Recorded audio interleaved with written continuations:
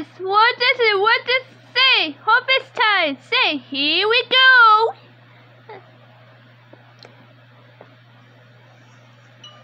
Okay, scientists. We are the computers and mass society tool.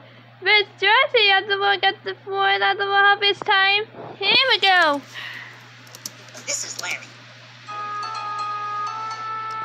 And today, we're going to learn about the story of the prodigal son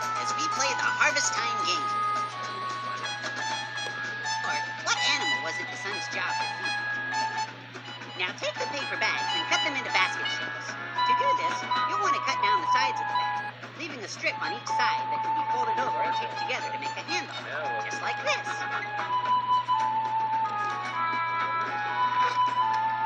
If you want, feel free to draw pictures on your basket as well.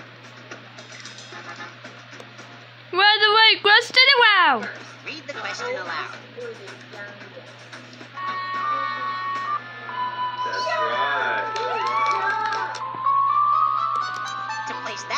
Card in their basket. Once all the cards are filled, look and see who's gathered the biggest harvest.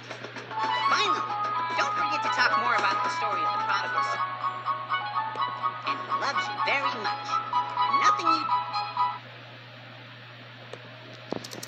Hey, great, Spencer, kinda cool.